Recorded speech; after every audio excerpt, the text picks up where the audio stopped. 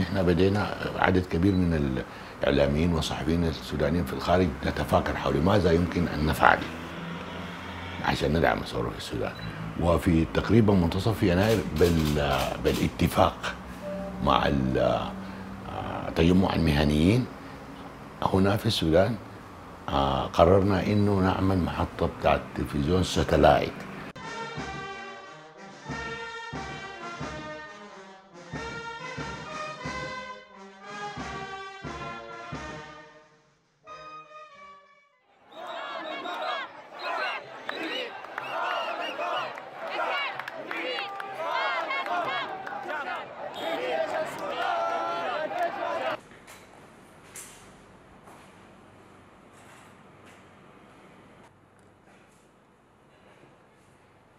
إحنا لما الناس اللي بتيجي من برا كلها بتيجي ترحاب باعتبار إنه أنت زول عايش في غربة وبتيجي راجع لأهلك وأصحابك وبلدك وكده.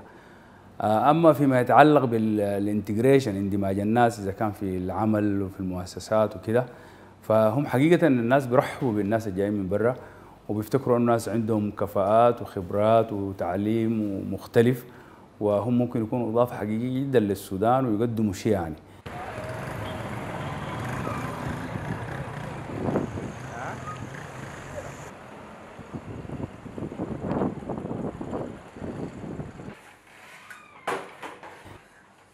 أنا مركت من السودان في سنة 2011 آه، عندما اندلعت الحرب بين طرفي اتفاقية السلام في مدينة كادوغلي يعني خرجت كمواطن وكنت أرتدي يعني الزي الذي أرتديه والبيت الذي أسسته لمدة أكثر من خمس سنوات تركته هكذا.